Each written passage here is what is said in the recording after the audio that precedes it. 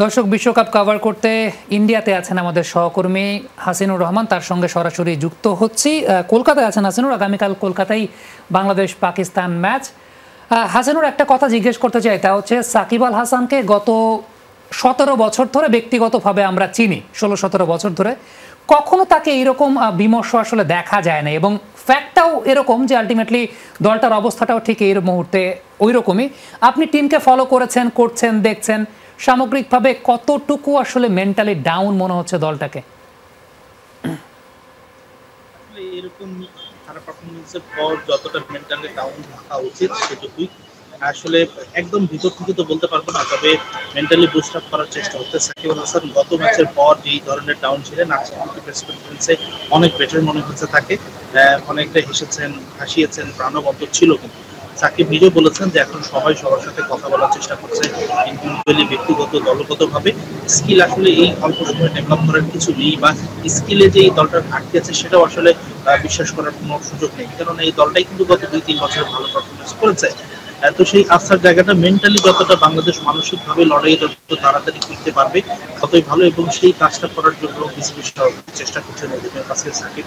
নিজেও বলেছেন, তিনিও চেষ্টা করছেন, দলের সবাই চেষ্টা করছেন। তবে সাকিব একটি কথা বলেছেন, একজন ক্রিকেটারের কি সমস্যা হচ্ছে, তিনি কোথায় সাফার করছেন, তিনি নিজেই তার সবচেয়ে বড় ইভালুয়েটর তো অর্থাৎ নিজেকেই ফর্মে ফেরার উপলক্ষটা ওয়েটা খুঁজে বের করতে হবে। যেমনটা সাকিব বলেছেন, তিনি তার ফেরার উপলক্ষটা খুঁজছেন। এখনও যদিও তিনি সাকসেস হননি, তিনি নিজেও খুব ব্যাড প্যাচের মধ্যে দিয়ে যাচ্ছেন। সেটাই তিনি বলেছেন যে দলের সবাইকে নিজেরটা ভাবতে হবে, কীভাবে উন্নতি করা যায়।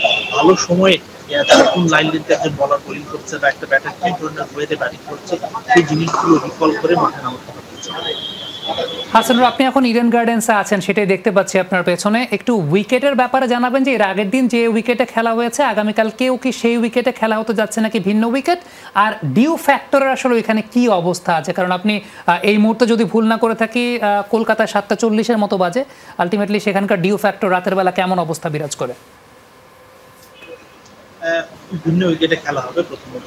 তবে এই কন্ডিশনটা একই হওয়ার কথা। উইকেট ভিন্ন হলেই যে একদম কিছু হয়ে যাবে তেমনটা নয়।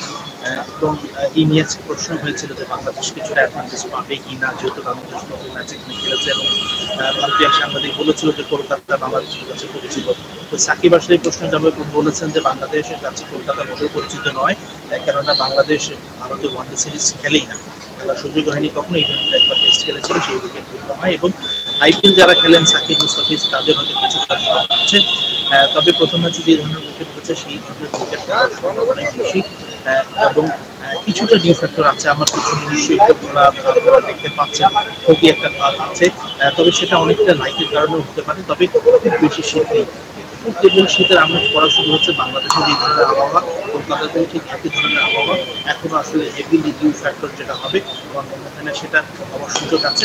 এখন পর্যন্ত কত দুই দিনে আমি কলকাতায় যেমন দেখেছি ততটা শিশির কিন্তু ততটা কি সেই ধরনের শিশির করছে না, আবহাওয়াটা কি বলে খুশির দল হওয়া শুরু হয়েছে Hasanur thank you very much আমাদের সঙ্গে যুক্ত হওয়ার জন্য। ইডেন গার্ডেন্স থেকে হাসানুর রহমান আমাদের সঙ্গে যুক্ত ছিলেন।